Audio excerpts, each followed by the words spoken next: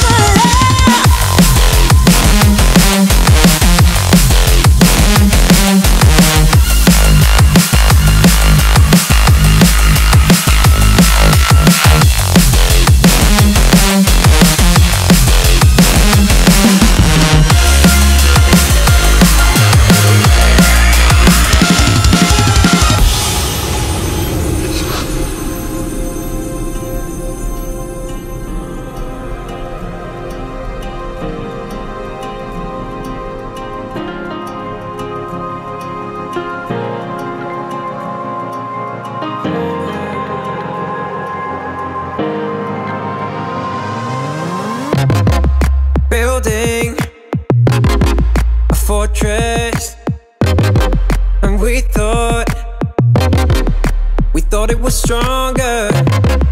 Keeping your distance. I thought i thought we were better